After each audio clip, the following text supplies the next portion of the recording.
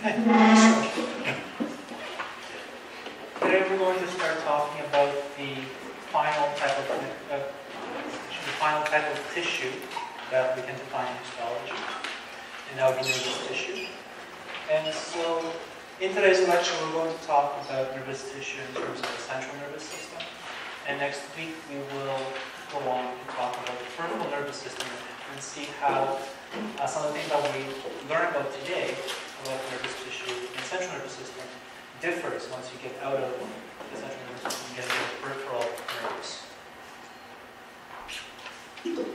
So, let's talk about the neuron.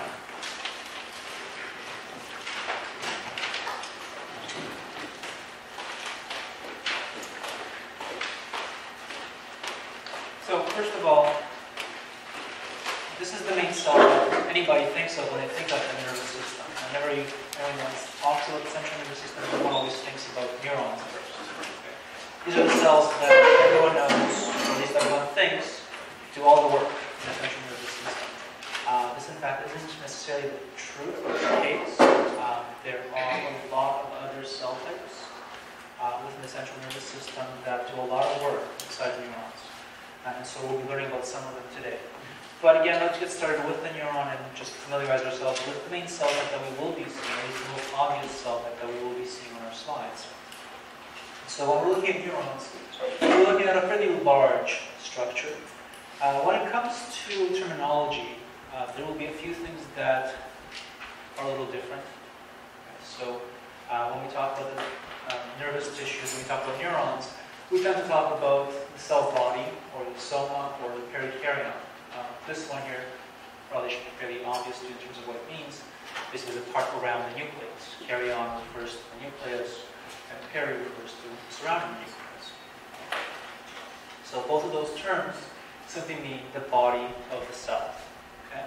That doesn't include necessarily the actual processes, the axons and dendrites. So it's really just the body of the actual cell itself. And that's the part that we really will be seeing on most of our slides. Unless the slide has been specifically stained for the cytoskeleton of the actual neuron, all we will be seeing is just the nucleus and just the surrounding soma or perikaryon.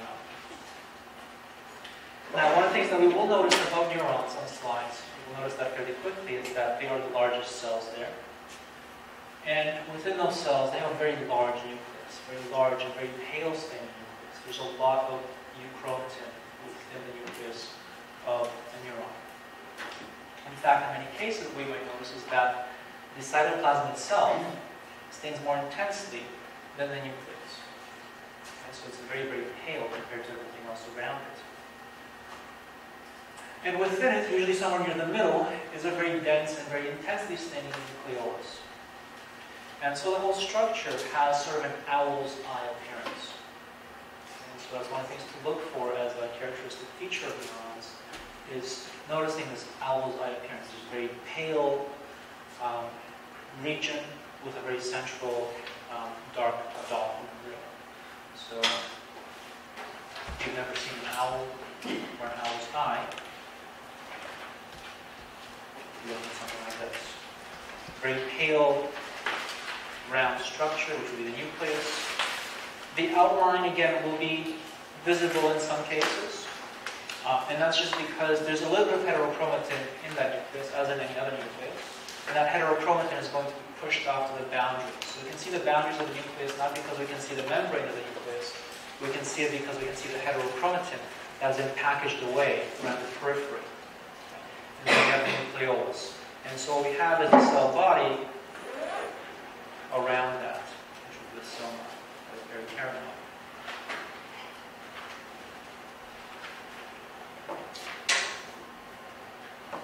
back to. Now within that cell body around the nucleus, what we have is something called the Nissl substance. Um, basically, Nissl substance is the roughy rock. Okay, so it is material that stains very easily with something called Nissl stain.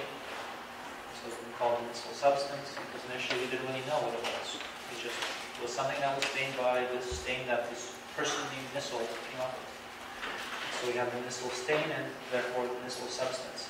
We now know that it is the roughy R So that means that neurons do produce and transcribe a lot of things that will then be packaged into vesicles, as probably makes sense. Going a lot of neurotransmitters and vesicles containing neurotransmitters. So you need to have something, um, if you're going to produce any kind of peptide, chances are it's going to be going into some sort of a vesicle. Or it will have to be embedded within a membrane, like for example, if you're trying to make some sort of a receptor on a cell surface. Again, it has to be embedded within the membrane, so it's going to be transcribed, uh, sorry, translated on an actual uh, ribofendic particular. So um, neurons will have a lot of RFER just for this reason, just because they need to make proteins that are either embedded within a membrane or will be exported in some way. And by the way, um, in terms of neurotransmitters, most of them will not actually be complex peptides. Usually they're very small molecules, quite often just modified amino acids that become neuro, um, neurotransmitters. So the cytoplasmic processes are not only visible because, again, it's just cytoplasm and cell membrane. So most stains will not pick that up unless the interior of that cytoplasmic process is going to be also filled with Nissl substance. And that's one of the ways that we can actually tell the difference between dendrites and axons is that dendrites tend to have Nissl substance within them, whereas axons do not.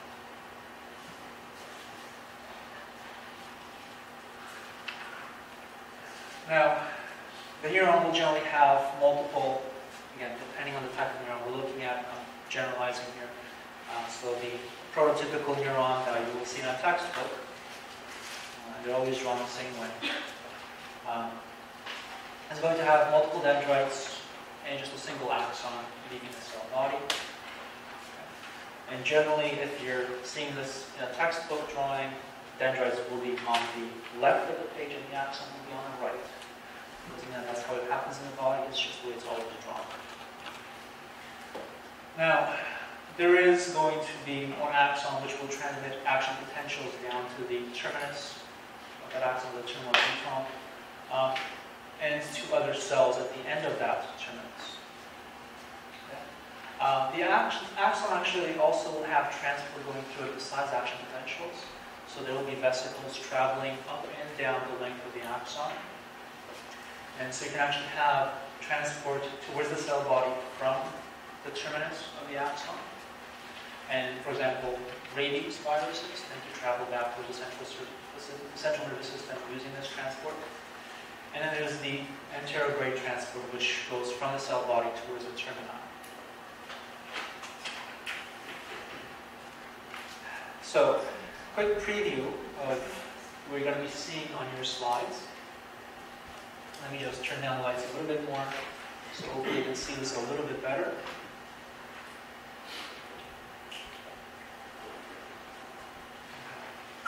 So what we have in the upper left-hand corner is actually a cross-section for the spinal cord. It doesn't look like much, I know. This was stained with an Nissl stain. So what we're really staining for is the Nissl substance, or, or DR. So the thing to notice, this is the boundary of the structure. What you can probably make out is that there is some sort of lightly staining material that I'm outlining right now. Okay? The stuff that I'm outlining right now is the gray matter. The gray matter is where you have the cell bodies of the neurons.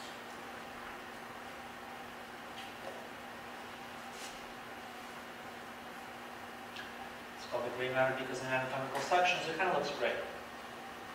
Whereas this stuff out here, around the outside of the spinal cord, is the white matter. And it's called the white matter because it looks like it's a white glistening substance. And I think of the presence of lots and lots of myelin, or a lot of lipid, because myelin is lipid. So all this out here is stained very poorly because there are no neuronal cell bodies out there. And all we're seeing is just the myelin sheaths. And because again, this thing doesn't pick up it, doesn't stain it doesn't show up on the slide. So it's very important. Okay. If we were to take this region here and zoom in on it, you would see something that looks like this in the bottom right hand corner here. Now, before we even go into this, if you look very closely, you might notice two things. Um, this kind of has a butterfly sort of shape to it, the gray substance, uh, the gray matter. And in this corner here and this corner down here of these quote-unquote wings, we have larger looking dots, okay? so larger cells. Whereas if you look at these ones up here, in these two regions, you can barely make any staining out because the cell bodies there of neurons are much more smaller.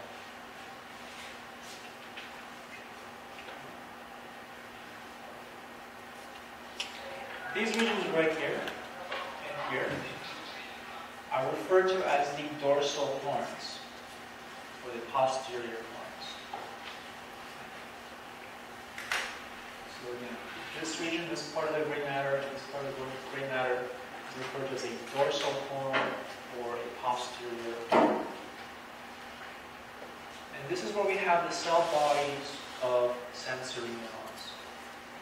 They are small, they have relatively short processes because there will be input coming into them from other neurons in the peripheral nervous system. So just outside of the spinal cord, just outside of the spine, is going to be a ganglion or a large cluster of neuron cell bodies of some of your sensory cells or sensory neurons. And they will be transmitting information using their processes into this region. And so these cells are small because they don't really require a lot of cytoplasm. They don't really require a long processes, so their cell bodies are relatively small. This region right here and here is referred to as a ventral horn, or the anterior horn. Now dorsal versus um, posterior just basically depends on what type of animal you're looking at. If you're looking at an animal that walks on all fours, dorsal refers to the part that's facing upwards.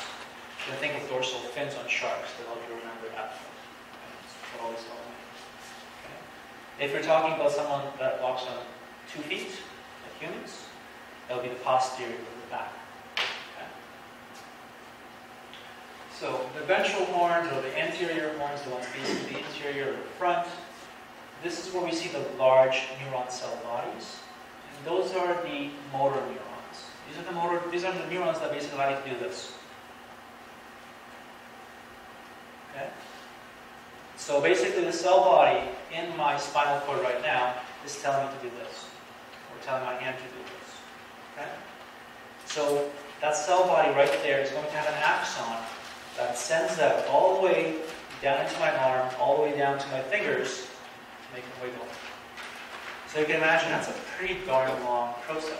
It's a very long axon. I have very long arms, so you've got to figure out a meter from the point of origin. Okay? Um, so even though this is a pretty large cell body, relatively speaking, there's a lot of cytoplasm, a lot of plasma membrane that we do not see on this slide because it is part of a long process, an axon leading away from it. And because it has much longer processes to support, it's a very expensive cell and it's a very large cell expensive in terms of it requires a lot of energy to maintain. Okay, let's go down to this thing here now. So we've blown this picture up, the corner of this picture up to this. And what we see here is, well, basically seeing two neurons. This one here and this one here. Okay. Based on what I just told you earlier, you know that these projections here, all three of them, are dendrites. How do you know this? The, uh, the processes are stains or? Processes are saying they have Nissl substance within them. Okay. Whereas if we look at this neuron right here, we don't see the processes quite as well, but there is one going off in this direction. One thing you'll notice is that there's a region right in the cell body, right close to this process, that actually looks much clearer. It doesn't seem to have that Nissl substance there. This is the axon hillock. It's a clear region in the cytoplasm just before you enter into the axon. Why doesn't this neuron have an it, Or does it have maps on it? Does this neuron have an axon? Yes or no? Yes. 50 50 chance of getting it right. Someone is saying yes. Anybody say no? Why do you say yes? Because it's three dimensional, maybe it's there you go. It's three-dimensional. You always have to remember when you're looking at these things. You're looking at three-dimensional things in which dimensions. Just because you don't see the axon here doesn't mean it doesn't exist. It could be just below the plane of section or just above the plane of section. It could be poking out towards you. Okay? You don't know that. So just because you can't see it doesn't mean it doesn't exist. So when you're looking for axon hillock on your own slides, not every neuron is going to show you one. Okay? So this one in particular, pretty good example. The other reason I like this one is that hey, we don't really see a nucleus here. Again, depends on the plane of section at. Sometimes the Nissl substance will be right over the nucleus, and so you can't see the nucleus. Yeah, it's a three-dimensional structure. Whereas in this case here, you can very clearly see a very pale staining nucleus, lots of euchromatin, very clearly visible, and then a central nucleolus right in the middle. So that's that owl's eye nucleus that I was describing for you earlier. Now you'll find that around the outside of the cell, you find a whole bunch of other cell bodies which are much, much smaller. And those belong to the supporting cells that we will be talking about a little later on today. You can see that they are significantly smaller. I mean, the cell body of this cell here is about the same size as the nucleolus of this neuron. So we're looking at a significant difference in size. And again, that gives you some idea of this is probably a motor neuron because it's a very large neuron. Okay, so speaking of neurons and what they look like, um, there are a few categories that we have defined for how we would describe certain neurons. Uh, and different types of neurons from these categories will occur in different places in the body as well. So sometimes you will see predominantly multipolar neurons, and sometimes you will see bipolar neurons or pseudo-unipolar or let's just get into what that actually means. So what I've drawn on here is the beginnings of a multipolar neuron. It means it has multiple poles, i.e. multiple processes. So it will have multiple dendrites, and it will have one axon. So we can have, say, one axon leaving this. Have multiple dendrites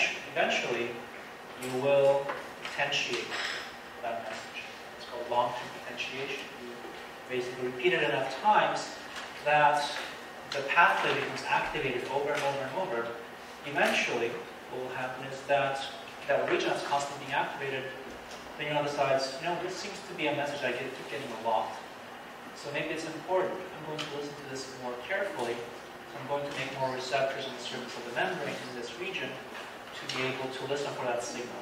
So it's more sensitive to that next time around when you do hear or you think of a long, about, let's say, the term long-term potentiation. That signal comes through much more easily, and you remember much more easily as well. Question back there? And again, the reason you do that is because you have roughly R very close to the target. So you can very quickly make whatever uh, receptors you need and target them specifically to the area where you need them. Okay, so that's why we have this substance in the dendrites. We really need that in the axons. Okay, so back to our uh, types of neurons. You can also have, and notice, my neuron also has dendrites on the axon on the right. It's the law. Is. So let's go back to unipolar neurons. A unipolar neuron has a cell body and an axon.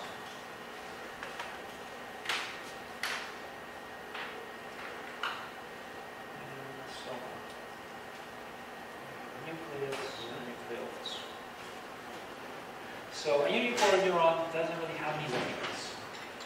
What's going to happen with a unipolar neuron is that there will be other axons that terminate right against the surface of the cell body. So you're going to have other axons coming into contact with this axon 1, axon 2. And basically, other neurons simply make contact with the soma of this, of this neuron, and basically this neuron will simply transmit that information along the way. Okay, so it's a unipolar neuron. You can also have a bipolar neuron. There's nothing wrong with it. Nothing is wrong with it. It has two poles. So it has an afferent fiber, cell body. They're not to scale, by the way. I'm just drawing this one smaller because I want to make sure it fits on here.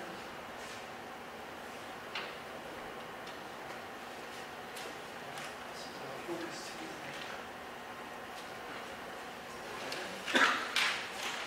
So we're going to have an afferent fiber.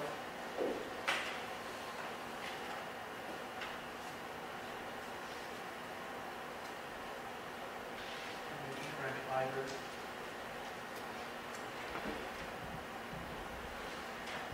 Now, I'm not really calling this a dendrite. Um, that's because the axon hillock actually tends to be right over here.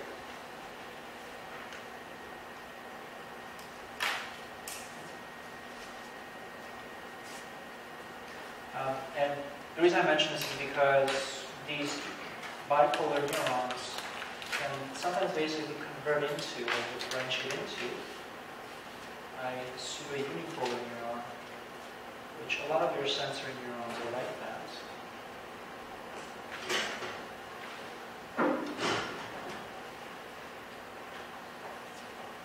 Where basically this afferent fiber and efferent fiber come very close together, so they essentially just have one fiber coming into the cell body and leaving the cell body.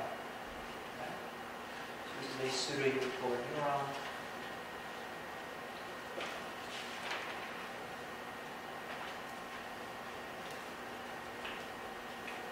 And so again, a lot of these things tend to be found in your peripheral nervous system as, as your sensory cells. So for example, um, next week we'll be talking about some sensory structures. Better? Some sensory structures in your fingertips, for example. Okay? And so a sensory structure is going to, for example, you know, you put your finger against a pin. You're going to feel that sharpness of that pin. What's happening there is that there's a sensory structure that's going to be compressing this end right here, and that will start an action potential from the axon hillock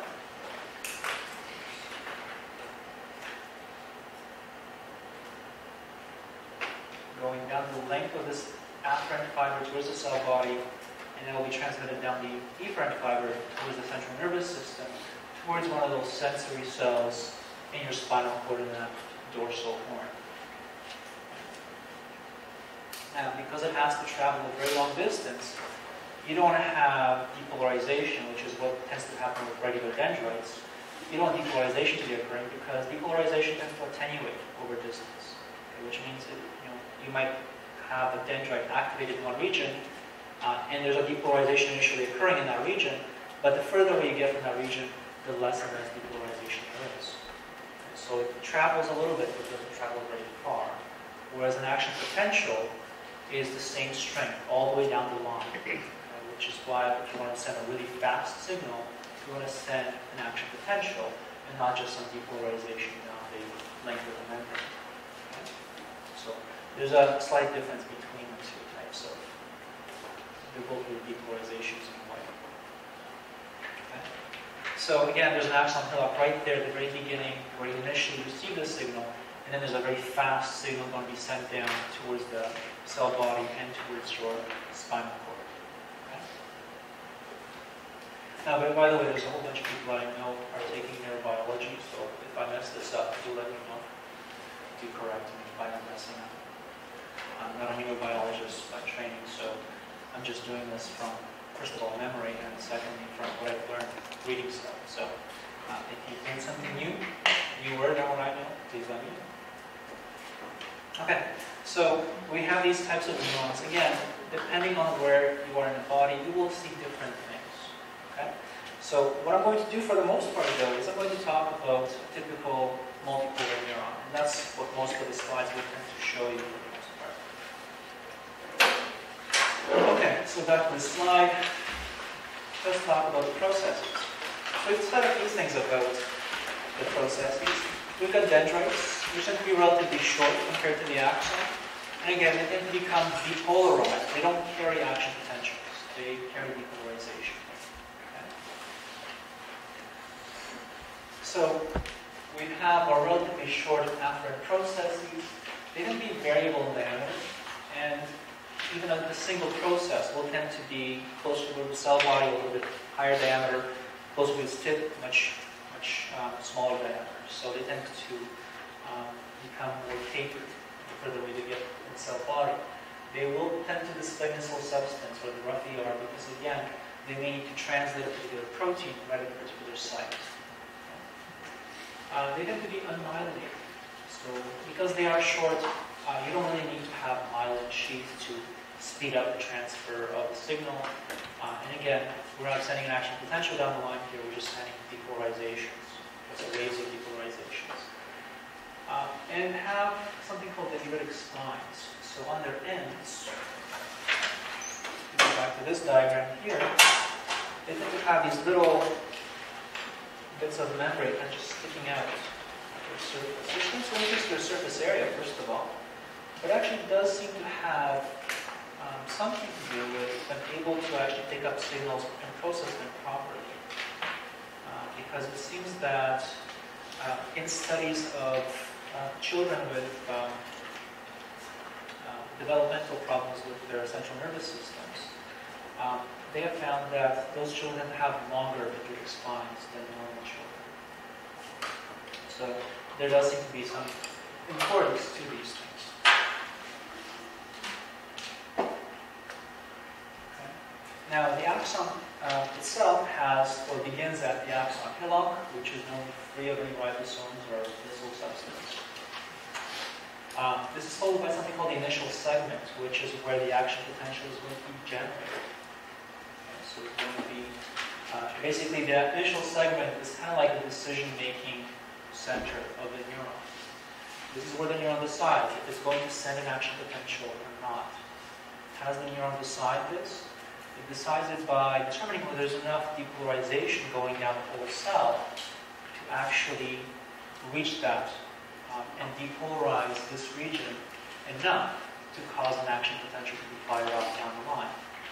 Okay? So you have to think of when you're thinking of um, neurons, and maybe this might help, if we do a little quick visualization, so just put your pencil away, close your eyes, and visualize a very calm pool of water, nice cold water. This week, that's really, really nice thought. Okay, so nice, clear pool of water, not a ripple, and of course, bright sky, not a cloud in the sky. So we're sitting in front of this pool of water, and you can think of this pool of water, the surface of that water, as the surface of your neuron. Now, let's say we have a small drop of water fall right down into the center of, center of the pool. What's going to happen? There will be a ripple starting out. Initially, the ripple will be relatively large, but as you get further and further away from the center of the pool, the ripple will become smaller and smaller and, basically attenuates. Does that ripple ever reach the edge of the pool? No. Okay. That's a depolarization. So that's not an action potential, it's a depolarization. Now you can think of a neuron as basically the cell that gets a lot of input. So a single neuron could have um, axons from, or let's say axons from a thousand other neurons coming in. It's not always the case, but let's say we've got a thousand neurons sending off their axons towards this one neuron, and this one neuron is going to be making a decision. Now, let's say um, 200 of those axons are screaming at this neuron saying, send an action potential, send an action potential. This is very important, very, very important message. This needs to be sent, by the way, sent along. And there are, let's say, another 300 axons coming in from other neurons, basically saying, no, it's really not that important, nothing's going on. We don't need to send any action potentials. Uh, they might actually send inhibitory signals. Okay? So you can actually activate or depolarize the membrane at a dendrite, or you can hyperpolarize the membrane, make it more difficult for it to become depolarized. So basically, this one neuron is taking a lot of input in. How does it decide whether it wants to actually send off an action potential down the line? Well, it depends on how much the depolarization travels and how much of it is still present, how strong the depolarization is still by the time it reaches this initial segment. Okay? You can think of the initial segment as that edge of the pool. Okay? That edge of the pool has to be hit by a depolarization, has to be hit by a ripple, strong enough for that initial segment to sense it and say, okay, this is important, I have to send it along. Okay? So here it is a, don't be afraid. It's okay, we'll go through this. Um, this is a very, very complicated looking diagram. Uh, I stole this off of Wikipedia um, because it was freely accessible. Somebody more talented than me spent a lot of time on the computer generating this, which I'm very, very thankful for because this means that I didn't have to try to draw anything. So, what do we have here? We've got the cell body or the perikaryon. We've got the nucleus, nucleolus, we've got some uh, rough ER or Nissl substance, we've got some um, mitochondria, etc., all kinds of different organelles, typical of any kind of cell. We've got these processes out here, these are the dendrites, and you can see they have small branches. Uh, and again, the more branches you have, the more input you can basically take in. You can see that there are other processes coming in, making synapses with our neuron. Okay? So again, these are processes coming in from an axon, and they will be telling this neuron, I want you to send a message along. This is a very important message I have. You need to send it along. It's very, very important.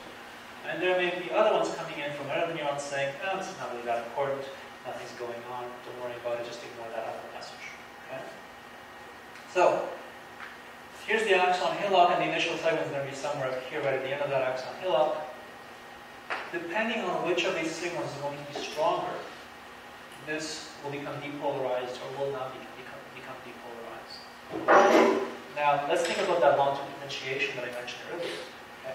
Let's say that you're studying again, you're trying to remember what long-term potentiation means, and I'm not going to ask you about long-term potentiation in the exam. That's, that's not a neurobiology course that we're dealing with here. In your neuro courses, sure, you may need to know that, or in your psychology, but not in this course. So let's just say you're trying to memorize the name of all the different cell types, and so you're repeating them over and over and over again. And so that signal is coming through to this neuron down the same pathway every single time. At some point, this neuron is going to say, okay, there seems to be a signal coming in constantly. I should probably pay more attention to it. So again, the Nissl substance in this region, and in this region here, and this region, are going to start producing more receptors for whatever is being sent, whatever neurotransmitter is being sent through from this particular terminus. So that means that we have more receptors. We have bigger depolarization the next time that this axon fires. Okay? More receptors means more depolarization, a bigger wave. That means that that wave is more likely to reach that initial segment, and that means that this initial segment is more likely to generate an action potential that will be sent down the line, all the way down to this region right here. These are called telodendria. So basically the axon splits off into multiple endings. And again, it innervates another cell along the way. Probably telling your brain, you need to write down this word right here on this exam. And this is the answer. So, again, the more those surface receptors are present, the more likely it is you're going to have a larger uh, depolarization reaching this end here. Okay? If you have a very weak signal coming through, if you have very few connections with this particular neuron, and all the other neurons are saying, ah, just ignore it, uh, let's just about battling about something, don't worry about it, uh, we never have to use this stuff ever again in our lives, uh, then you probably won't remember this stuff, and this neuron won't fire on the exam, which will be a shame. So you want to make sure that you're studying so that the stuff that's coming through into your ears right now, or later on you're studying, um, is has more connections, and or you have more receptors on the surface of these dendrites that can pick up that signal, so that you can send off a more clear signal towards that axon hillock in that initial segment. All right, so um, this right here is just a diagram of the synapse. So basically, you've got surface receptors right here. On the other side of that synapse, um, so this is the synaptic cleft, the space in the middle. That synaptic cleft will become filled with the neurotransmitter that is being released by this terminal tunnel over here. So you've got neurotransmitter vesicles that will fuse with the membrane when an action potential reaches this region. These vesicles will fuse with the membrane. We'll talk about how very shortly.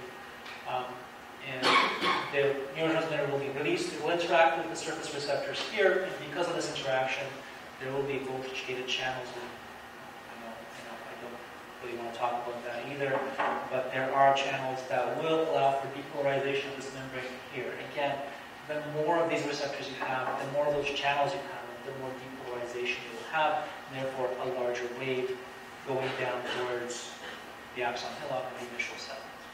Um, so if we continuously repeat something, it's going to be greater than one receptors, but if you stop repeating it, will the receptors degrade? So over time, you may lose some receptors, okay? Um, but it depends on how long you do it for. So I mean, short-term memory doesn't necessarily do this sort of thing. It doesn't really have that effect.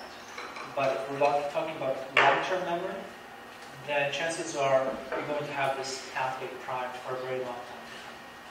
Okay? So again, repetition is the key in many cases. So people who suffer memory loss, is it, is it damage to the dendrites? So is it damage to the dendrites if they're suffering from memory loss? Um, that could be one of the things that happen. That's happening. Um, again, I'm not a neurobiologist, so let's ask the neurobiologist. in a minute. Okay. Have you been studying your memory loss for your final exam yet? No?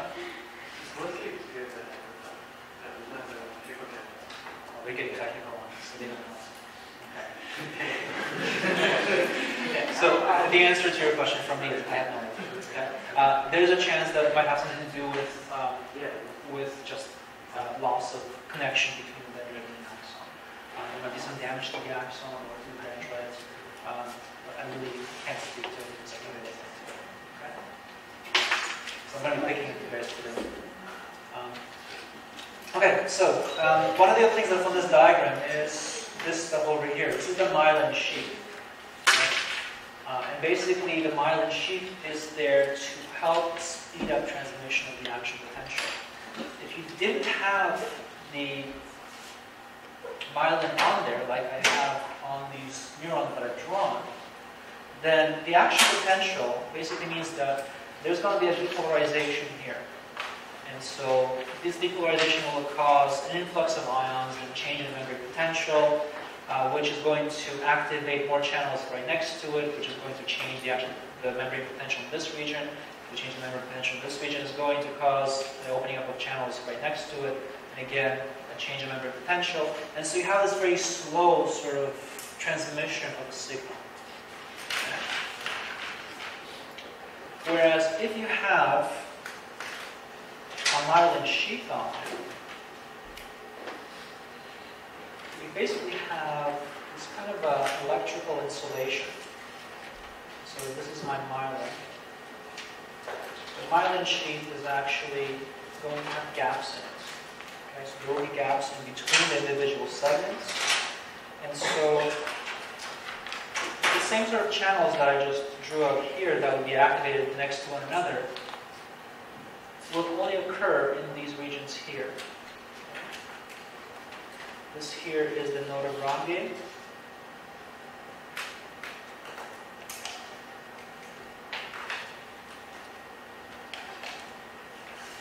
And so if you have a myelin sheath, what's going to happen is uh, this region right here might depolarize and you might have a change in the membrane potential. And then the ions will travel down to this region here and cause these channels to open up in the, node of Ranvier. And so you have a depolarization occurring here at the node of Ranvier, and then that depolarization will then jump to this node of Ranvier, and then to the next one and the next one. Okay?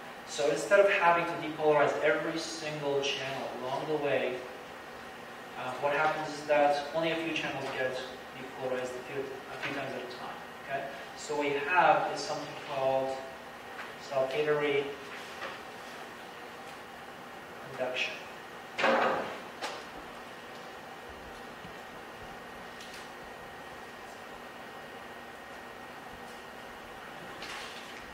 So this allows for much faster transmission of signal because you're only depolarizing things every few, uh, every certain bit of distance.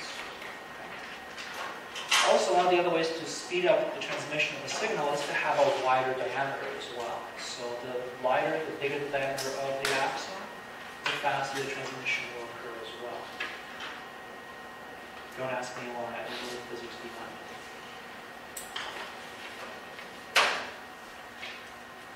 Okay, so the myelin sheath protects and insulates the nerve fiber. Uh, the protection part of it we will tend to see a bit more of in next week's lecture. When we'll talk about the peripheral nervous system, where the myelin sheath also kind of acts as this outer covering and, and barrier between the nervous tissue and the outside world. But it really helps us to speed up the transmission of signals the action potential down the line. so that, and we know this because, for example, if we have some, if we know someone with a demyelinating disease, you will notice that their movements are much less lesser, much slower. It's because it takes longer for the signals to travel back and forth so that their movements become a little less coordinated. So again, that's basically the loss of the myelin sheath that's causing this. It slows down the transmission of signal, and so you're sensing things, gets, takes longer to get back to your central nervous system, and then response to that, again, takes longer to get back. Okay. So, the actual composition of myelin is mostly lipid. About 70 to 80% is just basically membrane lipids. Now, within those membrane lipids, we do have some protein embedded within the actual membrane, and those proteins will tend to help maintain the myelin. They will tend to help maintain the actual structure of the myelin. There's something, for example, called myelin basic protein, or MBP, which tends to hold myelin together. And there are demyelinating diseases, um, that is actually autoimmune disease, which attacks MBP, and destroys MBP, and that causes a demyelination, which just destroys the actual myelin sheath itself, and again, causes problems with motor coordination. So again, it's a cellular membrane, but it does have some protein within it, but mostly lipid, which is why, again, if we're trying to look at slides of myelin, we either see it as a clear space around the actual axon cylinder, or if we can manage to stain it with something like osmium tetroxide, we will see a black outline around the outside of our axons. Okay, so we need to be able to specifically stain the lipids in order to be able to visualize the myelin. Now, depending on whether you're looking at the central nervous system or the peripheral nervous system, uh, there's different cell types that will be involved in producing it. And uh, the myelin sheath will have different characteristics depending on whether we're looking at peripheral or central nervous system. So today we'll be focusing more on the central nervous system. So we'll just talk about myelin in terms of um, what happens there. But next week we'll compare it to what we see in the uh, central nervous system as well. So we'll look at peripheral versus central and look at the differences there. So in the central nervous system, it's called it's generated by a cell called an oligodendrocyte, whereas in the peripheral nervous system, it's called by uh, it's produced by a cell called a Schwann cell, uh, which is probably what most of people most people think of when they think of myelin sheath. They usually think of Schwann cells. This is what we usually are taught about. Uh, so those ones you probably will be able to understand a little bit more easily. Uh, oligodendrocytes work a little bit differently than a Schwann cell, so we'll see that today. Um, but these diagrams that we have here tend to be more more peripheral nervous system oriented. Um, and so what you're seeing here are individual segments of myelin. Okay. And each one of these uh, is quite long. In the peripheral nervous system, myelin sheath uh, segments are quite long. And you can see a nucleus of the Schwann cell around the outside of this myelin cell. Okay. Now, not every axon is myelinated. Many of them are not myelinated. That does not mean that they are naked. It means that they simply don't have a very densely packed lipid membrane wrapped multiple times around the outside. So what we have on this slide here is, a, is an EM diagram or an EM photograph of two axons. So here's axon number one, here's axon number two. This one here has a myelin sheath around it. So what you see here is basically the cell body of a Schwann cell. And it has basically wrapped its membrane around the outside of this axon multiple times, which is why you see this very dark outline. Because basically every time you have a membrane, you see a black line under the electron microscope. Whereas the one down here, what you see is, a, again, an axon cylinder. Here's the nucleus of the Schwann cell. And then you have the cell body itself wrapping itself around the outside only once. Okay? This is uh, an unmyelinated axon. Again, it's not naked, it's not exposed to the outside, but it doesn't have that thick outer covering, that, that insulation that this one has. Okay? Again, this one is going to be able to send signals much faster. This one will probably be a little bit slower in sending a signal. Is that going to be a problem? Not necessarily. This one might have to carry that signal a very far distance and get that signal there very quickly. This one here might just be going over to the next neuron a couple of micrometers away. So if you're not sending a signal a long distance, there's not much point in investing a lot of energy in generating a myelin sheath for an axon. Because whether you get there 0.00001 milliseconds faster isn't really going to make that much of a difference, regardless of whether you're going from these or not. so at this point, if you're a really short axon, you don't really need to have a lot of myelination. So again, not all axons will be myelinated. But again, just because they're not myelinated does not mean that they are completely exposed. This is especially true in the peripheral nervous system, where you do have a lot of effort put into isolating your nervous system from everything else. All your axons from everything to be isolated. And so again, to be seeing a lot of this unmyelinated and yet still covered type of thing going on. So here's just a diagram just to show you how this process occurs. Basically, you initially have a Schwann cell that of just wraps itself once around an axon, kind of like what you see here. But then it just continues. So this membrane just invaginates in and starts wrapping itself around that axon multiple times. And as it's doing that, it's squeezing out the cytoplasm from in between the two membranes. So that's what we're seeing here, is that basically this leaf right here just kind of starts wrapping and rotating and rotating around. The interesting thing is that it is uh, cell surface molecules on the actual axon that will determine how many times this Schwann cell will wrap itself around. So the axon itself will control how thick that myelin sheath will be. And again, we have what we, what we see here is a very tightly wrapped lipid uh, sheath. Okay. So notice one thing, there's a little bit of cytoplasm here around the inside of this myelin sheath. So in close contact with the axon, you have a little bit of periaxonal cytoplasm. Around the outside, of the myelin sheath, you have the perinuclear cytoplasm of the Schwann cell. One of the functions of this cell out here is to provide metabolic support for the axon. How does it do that? Well, you somehow need to be able to transfer things from out here into the cell and then into here. You can't do that if you have no connection there. You can't just burrow a hole in the, in the myelin sheath to get to the periaxonal cytoplasm. So there's got to be a different way of doing this. And there is a great diagram in your textbook, which unfortunately I don't have on here, um, that basically shows what I'm talking about. So before we get to this slide, let's do a drawing. And what I'm going to attempt to do is I'm going to attempt to flatten out and unroll a Schwann cell. Okay? So here's, here's what's going to happen. Let's say this is an axon. Okay? The Schwann cell wraps itself multiple times around the outside of the axon to make a thick outer covering with myelin sheath. What I'm going to try to draw is what it looks like when you unwrap it so that there's a little bit of membrane attached here and the rest of the cell is just kind of hanging down. Okay? That's what I'm going to try to draw.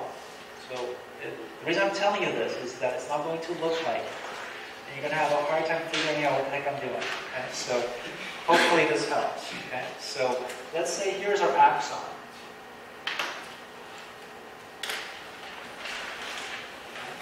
In fact, I'm going to draw two. Axons. Do the first one I'm going to do is going to be the one on the bottom. So here is the periaxonal cytoplasm. Again, I'm drawing this in two dimensions. You got to remember this is three dimensional. So let's say this periaxonal cytoplasm goes around the back of the axon, so it's behind the drawing. It comes out on this side, so here's the rest of it over here. So you got the periaxonal cytoplasm here as well.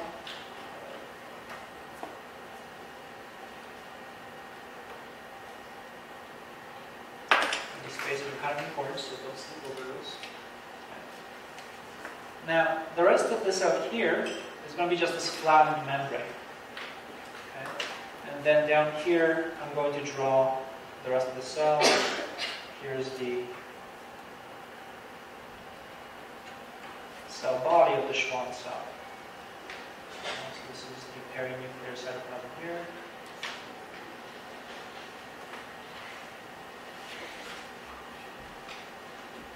Here's periaxonal cytoplasm.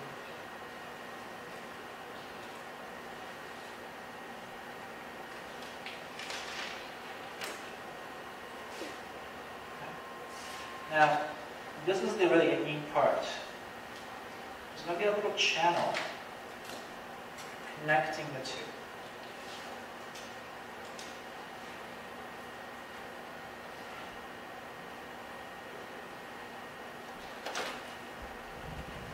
The rest of all this is just flat membrane against membrane.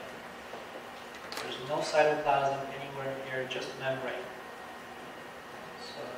Cytoplasm has actually been squeezed out in the process of making the myelin sheath.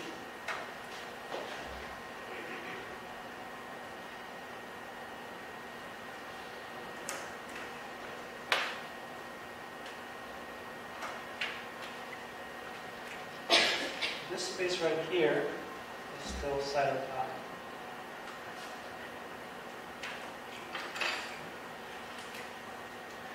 If we try to wrap this again around that axon, so let's pretend we're going to wrap this back around to make this. You're not missing much.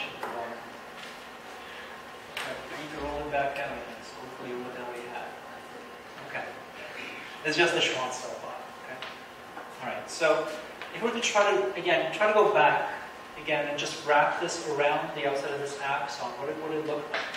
Well, you start out with initially a little bit of that peri, uh, periaxonal cytoplasm. on either side.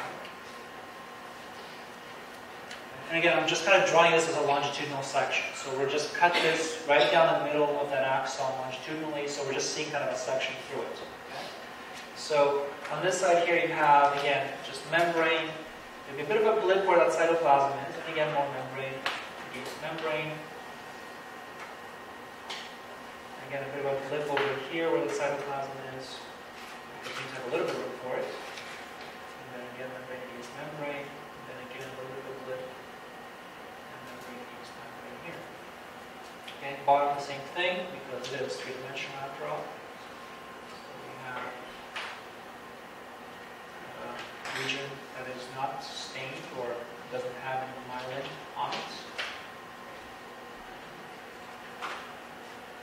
So let's put down the next layer as we're wrapping this around. So the next layer again, we have a little bit of more membrane. Again, a little bit of cytoplasm and more membrane, more cytoplasm, more membrane, a bit more of that cytoplasm again, membrane. Same thing down here, another layer of myelin.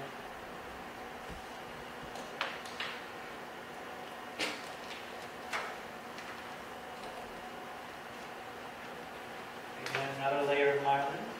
Again, we're just basically wrapping this around back and forth. Okay. So we're just kind of going backwards.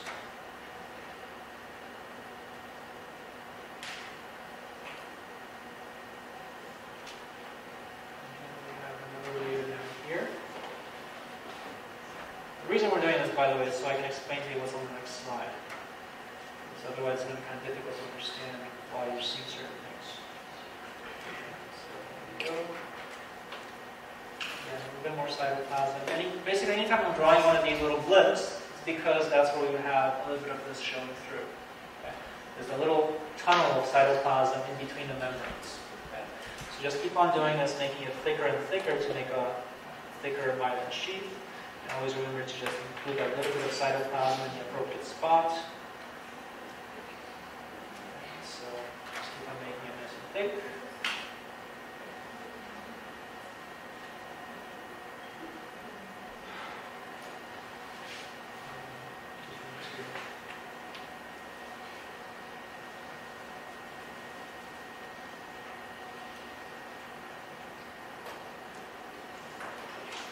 I'll stop here. And so then we have the cytoplasm around the nucleus.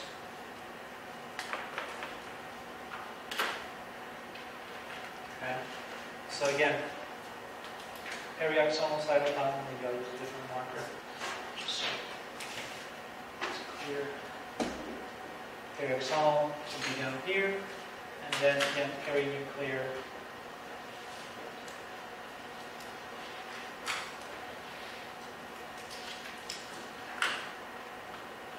cytoplasm. here. That if we were to take a look at this section, we find these regions, you know, color to outline here, here, here, that are more poorly stained, that don't have that thick myelin there. Okay? It has some cytoplasm. These are called incisures or clefts of Schmidt Lanter. You know, the central nervous system or the nervous system in general is so complicated it tends to require two people to discover things. So we got something we got for two people. So two ways to call these either incisures or clefts of Schmidt-Lanterman. I tend to use both interchangeably. You might pref- prefer incisure because it's quicker and shorter, easier to memorize. Um, I'll accept either one. Okay? And what this allows is for transport to occur. So let's say you want to feed this axon, you've got stuff that this cell can absorb from the outside. It will then transport it through this long channel that winds its way around the outside all the way down into the periaxonal cytoplasm can then be transported into the axon itself. Okay? So you have an easy way of allowing some metabolic support for that axon. Remember, axons are very long, so the perikaryon that's maybe in your uh, ventral horn is not going to be able to support this part of the axon somewhere in this region of your arm. Okay? So you need to have another way of supporting that metabolically, and so that's going to be where the Schwann cells come in. And so they will have these clefts of management or these incisures to allow for things to diffuse across from that uh, outside region of the cell, that perinuclear cytoplasm, all the way through into the periaxonal cytoplasm, and then be transported across to the axon. So hopefully that makes some sort of sense.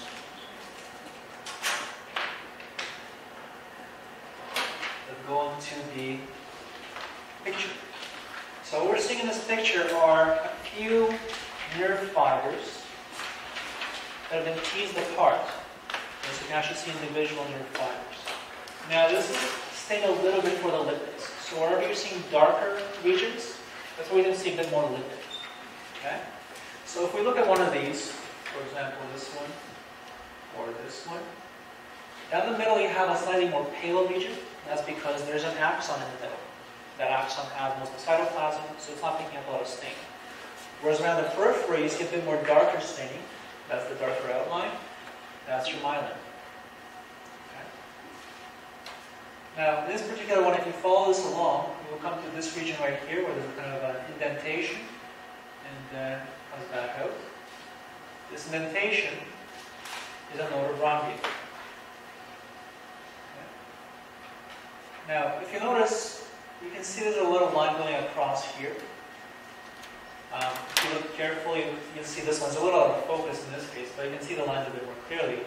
Here's one here, one here, one here. If you look at this nerve fiber over here, there's a line across here, here, and here. Again, these are not nodes of. Okay? These are the incisures, the plexus of. Now, if you see these on a slide, you know you're looking at the peripheral nervous system. Because the peripheral nervous system, the Schwann cell is responsible for providing metabolic support. And that's because these long, you can see very long segments of myelin are very long. In the central nervous system, these segments of myelin are much shorter, and metabolic support is going to be provided right at the neuron itself by a different cell. So remember, oligodendrocytes produce myelin in the central nervous system, but they're not the ones responsible for metabolic support. Support is going to be provided by cells called astrocytes. Here's another image, again, um, bunch of nerve fibers together. What you can see here is, again, very intensely stained region. This is all myelin. And this, this region right here, this indentation, is the Ranvier. Okay? Uh, there's another one visible over here. We'll see this slide again uh, next week we're looking at the peripheral nervous system, where I will talk a little bit about these fibers as well. Okay. The synapse. Um, there are electrical synapses and chemical synapses. Um, most of the time when we talk about synapses, we talk about are chemical synapses. Again, I don't want you to think that this is the only type. You can actually have gap junctions attaching to neighboring cells. You can have the action potential just traveling right along through. Okay? Uh, but a lot of synapses are the chemical variety. Okay? So when we talk about a synapse, what we have is a presynaptic membrane. This is this region right here. A synaptic cleft, the space in between, and a postsynaptic membrane. A postsynaptic membrane could be a neuron, it could be a muscle fiber, it could be any kind of cell that is receiving innervation and that's going to be reacting to the release of a neurotransmitter.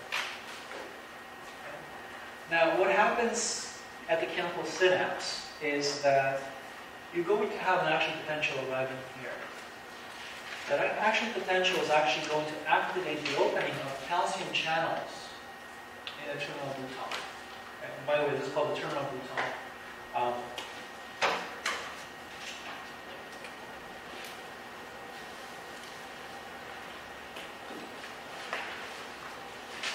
which means button. It's French for button. Uh, so the central nervous system, a lot of French people involved. The rest of microscopy, a lot of Germans. The French seem to like I guess. Right? So it's bouton. Um, basically, just means button. Okay. Uh, so at the terminal bouton, what you have is you're going to have an action potential coming in. It's going to open up some calcium channels. The influx of calcium into the cell. And again, anytime you have calcium entering the cell, it's going to do something. Cells very tightly control calcium. Calcium ions tend to activate things. Okay. So once calcium enters the cell, it's going to cause the fusion of these neurotransmitter vesicles with the presynaptic membrane and the release of neurotransmitter. The neurotransmitter will then travel across this uh, synaptic cleft towards the surface receptors on the postsynaptic membrane. Uh, you'll notice that there's a little bit of uh, material just underneath the membrane here, as well as the presynaptic membrane as well. This is the presynaptic density. There's just a lot of proteins uh, right at the surface there to help um, with the release of the neurotransmitters and with the docking of these uh, vesicles. And there's a postsynaptic density as well. Um, so again, we have calcium channels opening up, um, and those calcium channels will allow calcium to flow into the cell and cause the fusion of vesicles with presynaptic membrane, release of neurotransmitters. Neurotransmitters bind to the surface receptors on the postsynaptic membrane, opening some voltage-gated channels and causing a depolarization down that membrane. Now, if we think about muscle, where is that going to go? Along that membrane. Wow, that was a while ago, wasn't it? You might have to know that again. Okay, so let's move on really quickly and talk about the central nervous system. And really half an hour is not enough time, but we'll try to make do. So, this stuff we're going to see a few more slides. So, when we talk about the central, nervous system, we mostly talk about the brain and the spinal cord. So, we're going to be talking about the spinal cord today, as well as the cerebellum and the cerebrum. Those are the parts of the brain we will be talking about. The neurobiology geeks in this room will not be happy with this because there's so many other parts that are interesting, but we're not going to talk. So, in terms of cell types, we're going to, we've talked about neurons. We're going to talk also about the supporting cells, the glial cells. Um, the neat thing about the glial cells is that they outnumber neurons. Uh, in fact, how many of you have seen um, the Wedding Crashers? So a few. Uh, so you might remember the scene where Owen Wilson's character uh, is giving this line to this girl while they're dancing about, uh, you know how they say that we only use 10% of our brain. Well, I think we only use 10% of our hearts. And of course, she falls for it, and um, you know, he has a great time. Um, but anyway, where did that 10% number come from? Well, that 10% number is an actual real number. Uh, 10% refers to the percentage of cells that are neurons in your central nervous system, in your brain. Now, uh, this is the danger of letting the media um, interpret scientific findings for you. The media took 10% of our brains are neurons, therefore we only use 10% of our brains. Very, very simple interpretation of scientific data. Okay, what they have missed is that 90% of the cells in our brains are these guys right here, glial cells, okay, these supporting cells. Okay? Just because 10% of our brains are neurons doesn't mean that we only use 10% of our brains. We use quite a bit more. Some of us could stand to use a little bit more, but for the most part, we're using a lot of our capacity. Okay? So don't feel like, you know, you have a lot more than you do, although you have lots of potential. We all do. Okay? But it doesn't mean that you've got 90% more that you should be doing. Okay? Uh, 10% just refers to number of neurons. Okay? So again, these guys, the glial cells, the supporting cells, uh, make up roughly the other 90%. So they probably are important. Um, and we don't know too much about them. We know a few things, but mostly we've been focusing up until now on neurons because they're the interesting ones, they're the big ones. They're the ones that seem to do stuff. But we're finding out that all of these cells here also do stuff. That's kind of interesting. And some of them are actually involved, transmitting signals too. So really good stuff to study. Those of you who are neurobiology, I'm sure you probably can help me out with this. I probably won't thank you. Okay. So oligodendrocytes would be the first one of the glial cells we'll be talking about. Um, and these are the supporting cells uh, for the neuron, specifically the axons. Okay, so these are the cells that produce that myelin sheath that we just talked about. In the central nervous system, you have me just skip through of those. So they're- the ones that produce that myelin sheath in the central nervous system. Um, and they do it a little differently than Schwann cell. So the cell doesn't actually wrap itself around the neural It doesn't wrap itself around that axon. What it does instead is it sends out a cytoplasmic process, a small projection, and that projection wraps itself around the axon. As you might imagine, that will result in a much shorter segment, okay, or a much shorter internode. Okay, So that segment of myelin is called an internode, lives in between two nodes of Ranvier. So you can have multiple cytoplasmic processes being produced by one of these oligodendrocytes, and so some of those processes might wrap around a single axon. So you might have several segments on a single axon produced by a single oligodendrocyte. At the same time, that single oligodendrocyte could send off a couple more processes off in a different direction and wrap themselves and wrap them around a couple of different axons as well. So you could have a single oligodendrocyte in contact with multiple axons. And again, in that case, that oligodendrocyte is not going to be responsible for providing metabolic support. It's really going to be there mostly just to provide that electrical insulation. So that means that when we're talking about the myelin sheath in the central nervous system, we're probably not going to see much of that periaxonal cytoplasm. It's not really necessary there. We're not going to see cytoplasm that is perinuclear se in terms of just around the outside of that myelin sheath. The perinuclear cytoplasm will with the body of that particular cell. Okay? So what do we look for? Well, we look for a cell that is fairly basophilic. Tends to have a fairly oval nucleus. And if the slide is really, really well stained, you'll quite often see a somewhat clear or unstained space around that nucleus. Okay? So those are things to look for on a slide. Again, that nucleus is going to be very small relative to the cell, to the neuron cell that it will be next to. Next on the list, let me just make sure.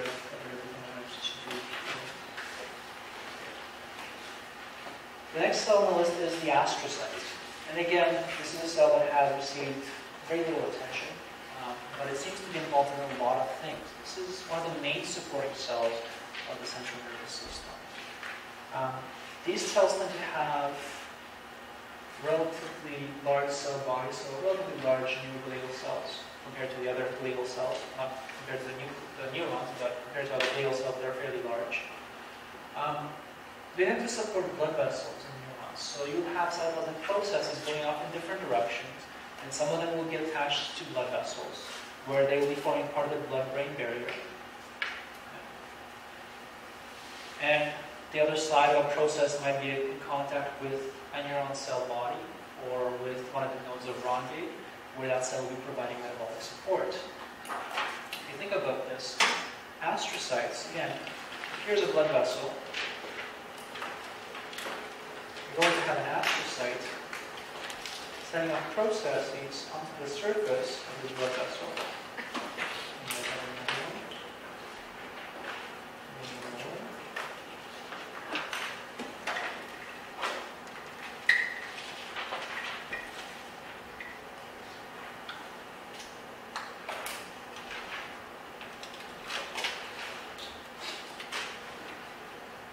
It's a very ugly looking astrocyte, I'm sorry.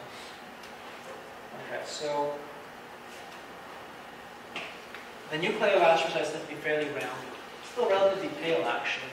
Uh, you may actually also notice a nucleolus within that, so it could look very much like a, a neuron, except it's much, much smaller. And so let's draw, here's a neuron cell body, and again, the dendrites to the left. So that's long as it's supposed to be.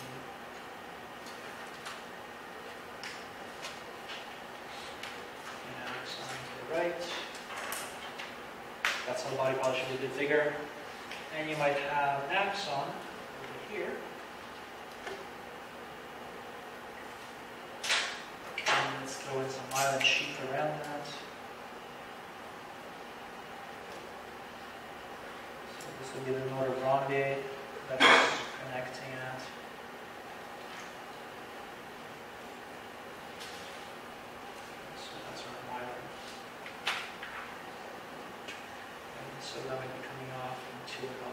Oligodendrocyte. And this one as well, because we have a single oligodendrocyte making multiple connections. Here's our ovum with probably a bit more dark stain than that of an astrocyte. Okay, so here's an oligodendrocyte. Oops.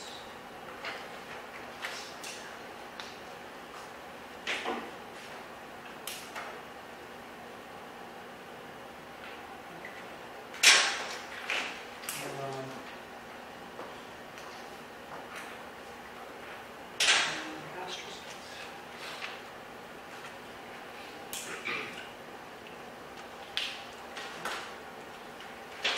So, what you have is a blood vessel containing blood. Now, again, your central nervous system is the most important part of you. So it's going to be very, very well protected. It's going to be very much isolated from anything that could do harm, including any pathogens that will pass through the bloodstream. And so whatever's in your bloodstream, first of all, will have to pass through the endothelium. It's going to be a simple squamous endothelium, continuous capillary, no fenestra, continuous basement membrane. So anything that passes across that endothelium has to pass across the cell, because again, those cells will have a very elaborate set of junctional complexes, the zonula occludens, to prevent things from passing across there. So cells of the endothelium will control what passes across. And then whatever they transport across will have to be allowed into the central nervous system by the astrocyte. So the astrocyte is going to allow it to enter or not allow it to enter. The astrocyte is going to take it up and transport it to an axon or transport it to a neuron. So the astrocytes are the gatekeepers. They are separating everything else and they are tightly controlling what passes into the central nervous system and what is actually allowed to come near your neurons and axons. This region as well as the node of. And then Ranvier, French name. I'm not making fun of the word, it's true. Okay. So again, we've got an astrocyte in contact with a blood vessel making part of that blood-brain barrier. And it will again be supporting, providing metabolic support for axons, providing metabolic support for neurons. Also notice that it is attaching to all these things. So it's kind of a structural unit as well. So it will actually provide the framework on which everything else sits. Just imagine a whole bunch of these processes kind of spread out throughout the central nervous system. All the other processes have to pass through that. So everything's kind of going to be sitting on top of all these processes. So one of the things that astrocytes can do is they will provide kind of physical support for everything in there. Uh, during central nervous system development, they will provide pathways through, through which axons will, will travel and grow, through which dendrites might go as well. So they will provide kind of a pathway for, for these things to actually develop. So they definitely help with development of the central nervous system. Um, they're also the ones that are going to be involved with this region here. Uh, chances are, if you've got neurotransmitter being released into the cleft, if it was just an open space, you would have stuff diffusing out here and possibly attaching to other uh, receptors elsewhere that really weren't meant to be targeted.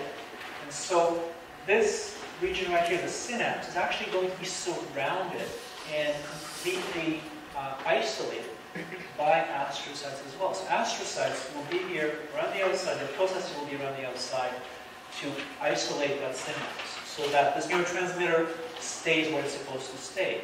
And then, once it's done its job, astrocytes will be among the cells that actually will recycle that neurotransmitter. So they will take up that neurotransmitter so that it can be recycled and reused again. Okay? So that's another function of astrocytes. Okay? Um, by the way, these structures here are referred to as perivascular feet. On the slide. so I can point to it. Okay. Um, they do have also some uh, control over the activity of cells called microglia. Microglia are the vacuum cleaners or the macrophages of the central nervous system. Okay, So any tissue needs to have some sort of a palletizes things, that cleans things up, and microglia are themselves, and their activity is going to be to some extent controlled by astrocytes. So astrocytes exert a lot of control over your central nervous system. They do a lot of things, really interesting cells. Another thing that they do is, if you imagine, okay, you've got blood vessel here, so astrocytes provide a blood-brain barrier, and that's one way of isolating things from the outside from the central nervous system. But your brain has a surface, right? So all the way out here, that needs to also be isolated. And again, astrocytes will send off their processes to produce something called the glia limitans. Just draw a process maybe. So this will have a process also going to the surface of the brain. And you're going to have, again, a whole bunch of these from other astrocytes as well. Basically, we're producing this continuous network of these processes at the surface of the brain. And this is called the glia.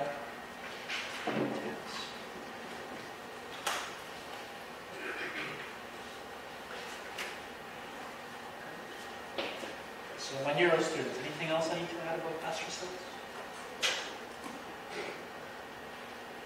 Any other students? No? This is news to you, then to say something wrong. Okay. So, again, um, very, very important cells.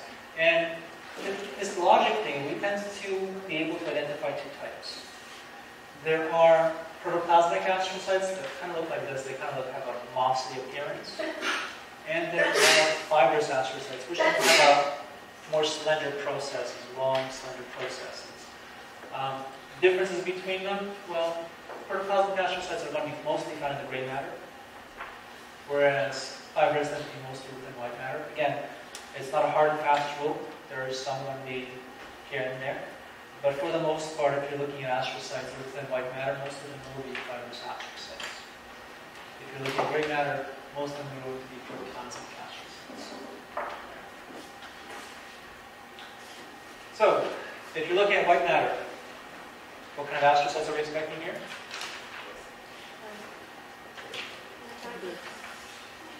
Fibrous. Um, which ones are fibrous astrocytes? That's a good question. What you're seeing here uh, is a slide that was specifically stated for glial cells. So basically, glial filaments are what's showing up on here, uh, which is why we can actually see cytoplasmic processes going up in different directions because it's the cytoskeleton of these cells that take state specifically. Okay. Again, we're in the white matter, so we're likely to see a lot of neuron cell bodies. And again, this thing is specific for glial filaments, are glial specific to begin with. So all of these are either astrocytes or they're oligodendrocytes. Which one's which? I'll find it. I. Okay. One of the things you can look for is can you identify a nice straight fiber that would likely to be an axon? If they can find a really thin, straight fiber that looks like it might be an axon, chances are the cells associated with it are going to be all oligodendrocytes. They're the ones that provide that myelin sheath, so they're the most likely to be there. If you can see something that looks like a blood vessel, i.e. you can see branching and it's relatively wide, you're probably looking at astrocytes. Okay? That's the thing I can tell you. With this stain, you can't really see the nucleus, so the nuclear shape is not going to help you very much. Okay? Uh, am I going to show you this slide and ask you to identify an oligodendrocyte on the slide? No. Uh, we're not going to spend enough time looking at these slides for you to really feel like it's a fair question to ask. Okay? So I'm not going to ask you on a, practical exam to identify all the oligodendrocytes or astrocytes on a slide like this. Okay? Uh, but you should still take a look at these and try to figure it out. Can you actually figure out which one is which? Microglia, mentioned these earlier. These are the vacuum cleaner of the central nervous system. These are part of the mononuclear phagocyte system. So they would differentiate from monocytes, just like macrophages. Okay? So this is kind of like the equivalent of a macrophage, but in the nervous tissue as opposed to connective tissue. Okay? So this is a cell type that runs around, cleans up whatever doesn't belong. Okay? might initiate inflammatory responses, which you probably don't want. Why do we want inflammation in the central nervous system? Why would that be a bad thing? Things can't get in anymore? Sorry? Things can't get in. Because things can't get in anymore? Okay. That, I think that's the reason that it didn't play in the first place. Right, so, I mean, it's, your nerve, central nervous system is fairly well protected, but sometimes something does manage to get across the barrier. So, we don't want inflammation because The Confined space. it's a confined space. One of the things, first thing about inflammation that's going to happen is swelling. If you swell up, you're going to compress all those precious neurons. You put too much stress on them, they will die. Okay? So you want to try to avoid having inflammatory responses in the central nervous system. So again, these cells are going to be very tightly controlled. Okay? And again, one of the reasons that we have such a very uh, protective outer covering on our central nervous system, we have that glial limitans, we have the blood-brain barrier, is to help prevent anything like that from happening. Very tight control over what actually can access our central nervous system. Which is one of the reasons, for example, that if you're designing um, drugs that would treat um, central nervous system problems, if you're trying to, for example, uh, make an antipsychotic drug, you need to find a way to actually pass that blood-brain barrier. A lot of the problems with actually designing these things is that even if you have a molecule that potentially do the job that you want it to, you still have to be able to get into the central nervous system, usually through the bloodstream. Right? So unless you're injecting it directly into the brain, I don't know, you're gonna have a hard time getting it in if you don't design it properly. So it's gotta be small enough to be around to access your central nervous system through the blood vessels and through that blood-brain barrier. So again, a lot of the trick to designing kind of pharmaceuticals in these cases is passing that blood-brain barrier. So, um, again, they originate in the bone marrow because, again, they are part of the mononuclear, mononuclear phagocyte system, so they come from monocytes. Um, in terms of seeing them on slides, they're very difficult. First of all, they're not terribly common. Okay? In fact, I don't have any pictures of them to show you. Please do not ask your TA to find you one. They will spend hours in front of your microscope and won't be able to help anybody else. If you find one, great, tell everybody else, and then find a new microscope because everybody else will be looking first in just half an hour. Um, but basically what you're looking for is something with a relatively small elongated nucleus. It's a very small cell. Okay? It has some very short processes. So they're not going to be very long tendrils of cytoplasm. They're going to be relatively short, kind of stubby processes that have those spines, small spikes on them. If you want to see examples, look in your textbook. Um, 5th edition, 1218, 6th edition, 1221. Okay, so those are you will look at if you want to see an example of a microglia. There's like, I think three cells side by side on that particular slide. Last but not least, ependymal cells. Um, these are found covering the surface of the interior surfaces, uh, the ventricles, the brain, and the central canal of the spinal cord. Okay, so these are the cells that are responsible for production and recirculation of the cerebrospinal fluid. They kind of look like epithelial cells when you look at them on a slide. They kind of almost look like a simple columnar epithelium, except you have to remember this is nervous tissue, it's not epithelial. Okay? These cells do not have a basement membrane. Okay? Instead, they are in contact with, what kind of cell do you think?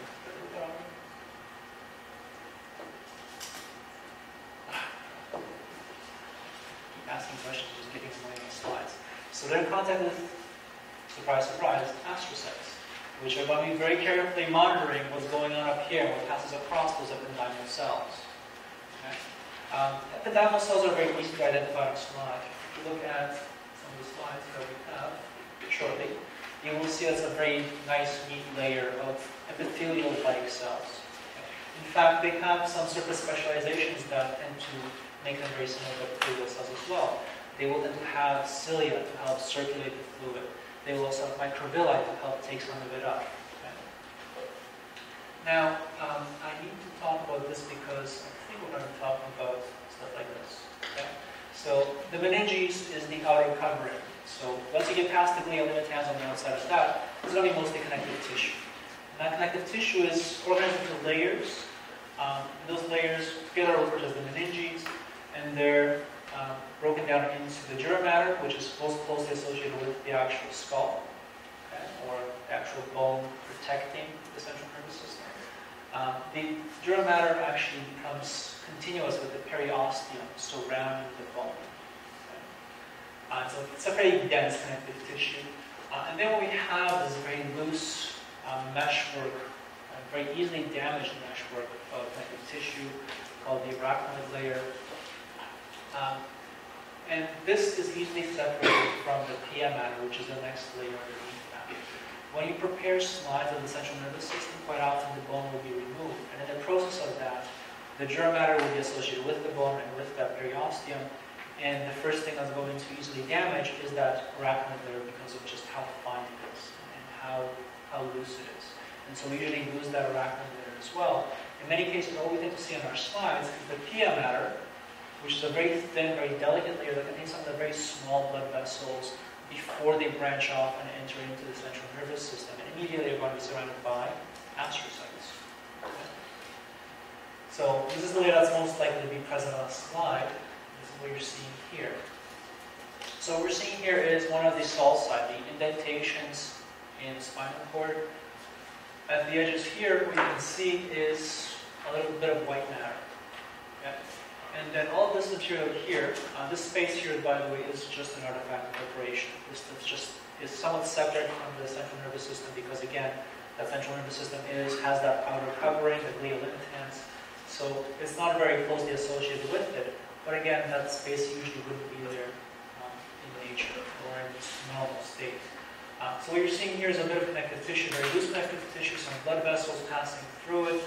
Uh, and again, those blood vessels are going to be closely associated with blood vessels entering into that central nervous system to feed those cells there. Okay, so again, be prepared to see stuff like this on your slides when you're looking at. So, really quickly, let's run through the different organs that we're going to talk about today. First of all, is spinal cord. Spinal cord is kind of difficult to try to picture in terms of two dimensions. So I wanted to put this picture up here because we'll be looking at this again next week. And so we can see here is that outer protective material, the bone, the vertebrae. Right down the middle, what we have is the spinal cord passing through. And so this is the white matter on the outside. And you can see here's that butterfly-like shape of the gray matter. Right down the middle is the central canal, which is where you would find the ependymal cells on the surface of that. Again, if we're looking for neuron cell bodies, we would be looking for them in the gray matter. The white matter will contain the axons of the neurons, and they will also contain supporting cells, the astrocytes and the oligodendrocytes, as well as probably some microglia as well. What I want to bring your attention to is also is this uh, bulge right here. These are the nerves. Uh, these ones are leaving the central nervous system. This is the ventral horn. This is where we have the um, the large motor neurons. And this is the dorsal horn. This is where you would have those sensory neurons, the small sensory neurons.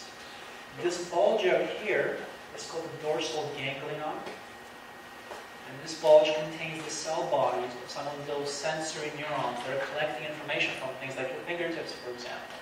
So there will be a sensory structure in your fingertip that would have an or the afferent fiber starting out and going all the way down the cell body down here, and then the efferent fiber would leave this and go into here and make contact with a sensory neuron.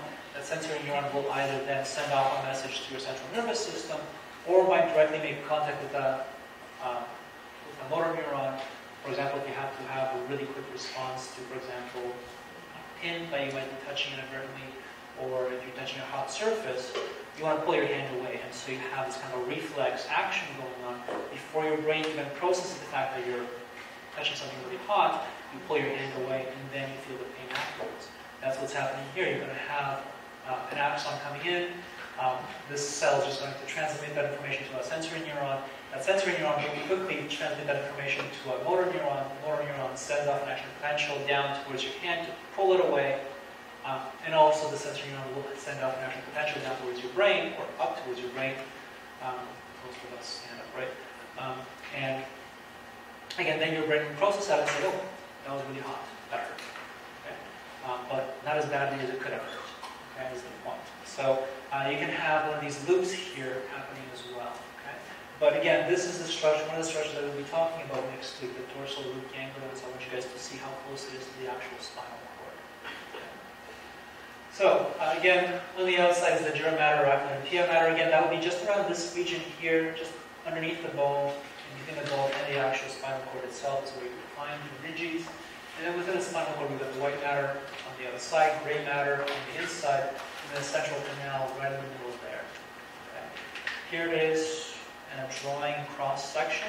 Again, white matter on the outside, gray matter on the inside. Again, this is the anterior region, so this is the uh, ventral horn or anterior horn. That's the dorsal horn or the posterior horn. Right, so again, uh, motor neurons down here, sensory neurons up here, and the central canal right there. If you want to look at the real thing, here it is. And so on the slide earlier, we were looking at just this region over here. So we were seeing that pia mater and these little two regions of the white matter. So here's the whole thing. So again, white matter on the outside, gray matter on the inside, and we have the central canal. You can see very clearly this very intensely stained layer of cells. Those are the ependymal cells. Uh, And if you look very closely, and again, this may not be very visible from where you're sitting, but down here in this region, in that um, ventral horn, there are some pretty large cell bodies clearly visible, even at this magnification. So you don't have to go to very high magnification for microscopes see a of these structures. So I don't want you guys to go right directly to 40x or 100x. Stay at 4x or 10x um, and take a look at low magnification uh, to see some of these structures because they will be quite obvious. Cerebellum. Um, this is the simpler um, structure that we'll be looking at today. Um, and here's where we're going to get into layers. Um, one of the things about structures is they have to memorize a lot of layers. And there's nothing to do but memorize them. I will try to give you some tricks as to how to identify them, but you have to still memorize the order in which they come. So, when we look at the cerebellum, or any part of the brain one of the things to notice is that on the outside is where we have the gray matter. The white matter is now on the inside. So spinal cord, white matter is on the outside, gray matter on the inside, and brain, on the outside, and white matter is on the inside now. Okay. So this right here is kind of one of those folds of the brain. It's called a gyrus. Just so we can all spell it. Gyrus. One of these folds of the brain.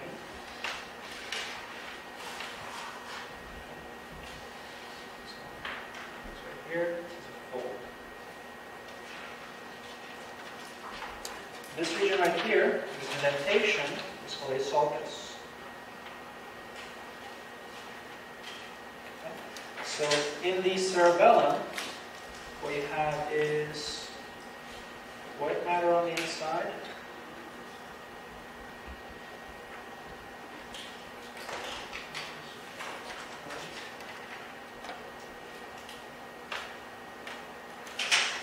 And gray on the inside. One of the things you'll notice is that when you're looking at slides, in the cere- cerebellum, closest to the white matter, it's got this granular looking layer. It's got a lot of nuclei closely packed together. And a very small nuclei. Is called the granular layer for obvious reasons.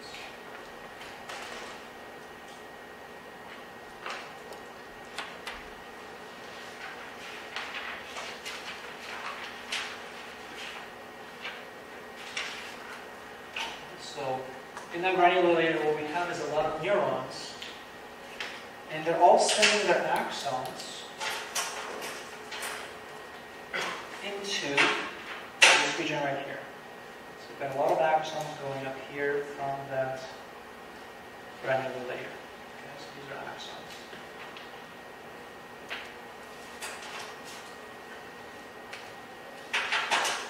Those axons go into what is known as the molecular layer. So from here to here is the molecular layer. Okay, Possibly called that because there's really not that much visible there. This looks like solid mass of material, but there's very few cells that can actually detect it. There are some small interneurons in there. Uh, and we're not going to go into the details of what they're called uh, for the purposes of this course. They're just very, very small neurons that will take a signal from the axon and transmit it to a different cell type. And this one's going to be called a Purkinje cell. We've heard Purkinje before, and I told you, or I warned you, that we would be seeing that again. Purkinje cells, opposed to Purkinje fibers, Purkinje cells are these flask-shaped cells. They are quite large compared to everything else around them. And they are arranged into a fairly nice, neat layer, easily identifiable layer at the boundary between the molecular layer and the granular layer. Are Purkinje cells.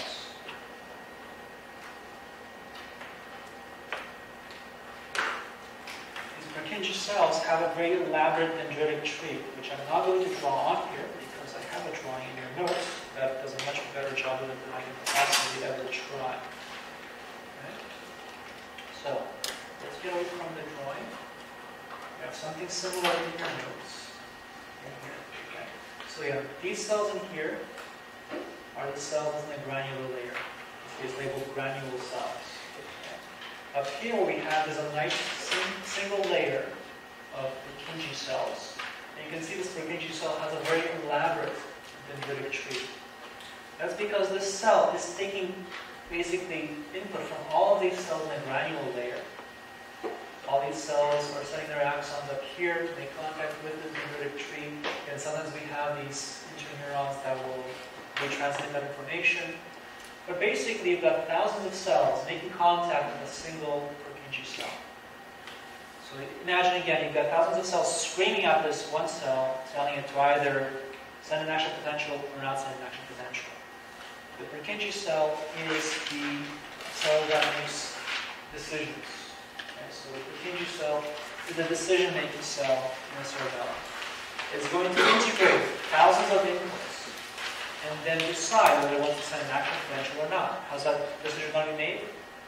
Based on how much depolarization do we have.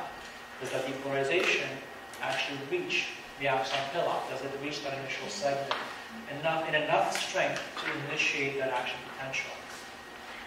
Now, Purkinje cells can be responsible for very automatic things, things that you don't really have to think about, things that you do without thinking about them. For example, you trip, your hands extend out in front of you. It's not always a good thing. Um, you can easily break a lot of bones that way. A friend of mine found that out when he fell off his bike um, and had to be in a cast for a very long time. But anyway, this is the automatic thing that you do. As soon as you trip, you go forward, your hands come out in front of you to break your fall and possibly your bones. So, again, that's what Purkinje cells do. They're responsible for these automatic responses. Okay? So you don't think about it, just do it. Uh, so again, and again, they're taking a lot of input from a lot of different sources and deciding whether to act or not. And again, this drawing here was actually done by um, one of the better known um, neurobiologists called Ramon. This guy was Spanish, probably, so, not just French. Uh, sorry. Spelled when I said it. It's Cajal. It's not really pronounced Cajal. I don't speak Spanish, but I'm pretty sure that that's wrong. That's the spelling, C-A-J-A-L. Okay? And one of the stains that we use in, in neurobiology is actually named after him. And again, he studied uh, Purkinje cells. And again, the drawing that you saw on here was actually done by him. So he spent probably hours in front of a microscope just drawing these cells what we saw based on the stain that he developed to be able to do this. Okay, so we skipped over the slide here, and that's basically a slide of what we drew earlier. We have white matter just barely visible here as a separate layer. Then here is the granule cell layer. And then we can see individual cells up here. These are Purkinje cells. And all of this up here is the molecular layer. All this material that you're seeing in here, between the, between the sulci, is the pia mater. So you can see some of the smaller blood vessels coming through uh, in these regions. And again, some of them will be branching off and entering into the central nervous system to be immediately surrounded by astrocytes. Um, this is just we just drew, which is the cell sign giant and stuff like that. Okay. And this right here is a picture of um, cells that have actually been engineered to have green fluorescent protein attached to the cytoskeleton. Okay. So wherever you're seeing green, that's where you have the cytoskeleton of a Purkinje cell. This is a great image because it actually shows you we have the cell body, and all this up here is the molecular layer. And that's, you can actually see, if you get a good enough image of this, just how fine some of those and how elaborate those individual trees really are. And then down here, periodically, one of those little thin fibers passing through this region, that's the granule layer. And that basically contains the axons of these Purkinje fiber, sorry, Purkinje cells. So the Purkinje cell will send off an axon down through the molecular, through the granular layer, into the white matter that you're seeing here. So this is a whole bunch of these axons passing through the white matter. And again, on the other side, we've got the granular layer and the Purkinje cell layer, and again, molecular layer. Okay, last one. I'm going to just make you guys memorize the layers. This is the cerebrum. Uh, much more complicated because it deals with much more complicated information. This the part of your body that is responsible for you thinking, or daydreaming in class, or memorizing things for exams, um, and falling in love, and all these wonderful things that your brain's responsible for. Well, obviously, it's going to be much more complicated than just three layers. Okay? It's a good thing you have. Okay? So learn to love your layers of the gray matter here. Uh, so again, the gray matter's on the outside, white matter's on the inside. Uh, and this image doesn't really do it justice, so we're going to switch over to this. This is the cerebrum. Obviously, very, very different from the cerebellum.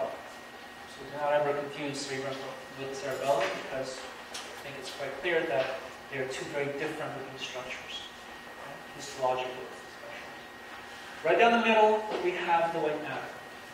So right here, we would have one of our gyri. So all of this here is gray matter, down here is white matter. This is a sulcus, so we can see a little bit of the pia mater and some of the blood vessels entering into the, um, the gray matter here. So when we look at the layers of the gray matter, the outermost one again is the molecular layer. Very much like what we saw with the cerebellum, a very empty looking region.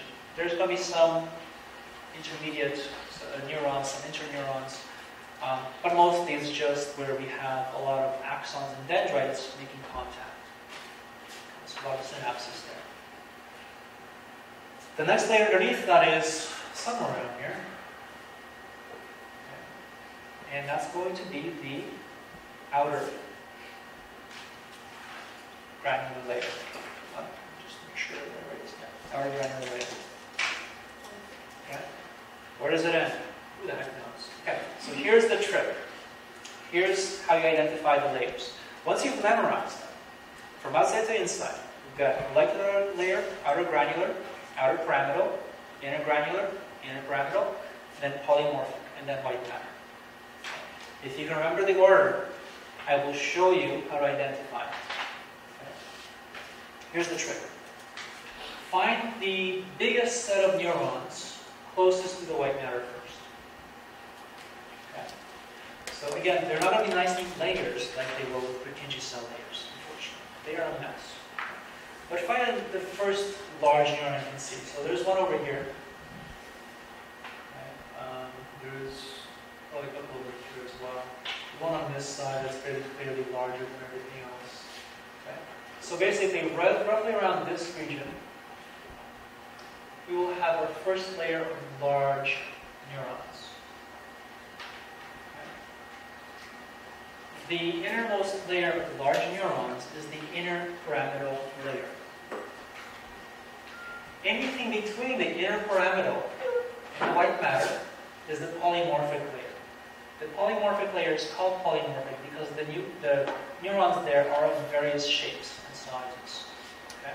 especially shapes. And if you look carefully at this region here, you will notice that, yeah, in fact, we don't see all of them being the same shape. They're all triangular. They all have different shapes to them. okay? Whereas the rest of them tend to be mostly triangular or kind of um, diamond-shaped looking cells. okay? So this here will be the polymorphic layer. This region right here, where we have some of these larger neurons, again, it's not always very clear because it's not a nice neat layers anymore, would be the inner pyramidal layer. This is the first and largest set of neurons in this region. The next thing you want to do is find the next largest cell. The next layer of large cells towards that molecular layer. And you'll notice there's one over here that's quite large. It's quite distance away from this one. So these two are pretty large cells, far apart. This is the inner pyramidal. This will be the outer pyramidal. Okay? So again, you can try to follow that along wherever you have some of these large neurons visible as well. Again, we don't see the whole layer of gray matter here on this side, so we're going to stick to this side here. So again, this is a large one, this is a large one, there's a couple more over here. Okay, so we've got some large neurons somewhere around this region here. Okay? So this will be our outer pyramidal layer. Everything between the outer pyramidal and the inner pyramidal is going to be inner granule. Anything between the outer pyramidal and the molecular layer is going to be outer granule. Check your layers. I'm pretty sure it's correct. Okay? So that's how you identify them. What do they do? You're going to have to take a neurobiology course to find that out. Because I have not how they work. So this is the cerebrum, a much, much, much more complex system because, again, if you look at this diagram, they're all interconnected. They're all sending off, processing in different directions. And again, there's going to be a lot of things that happen there. They really have no idea how exactly it works. Unless you're a neurobiologist, in which case, they'll really kind of. Yep, good. So they can explain. All right, so we're going to stop here, pick it up next week with uh, peripheral nervous system.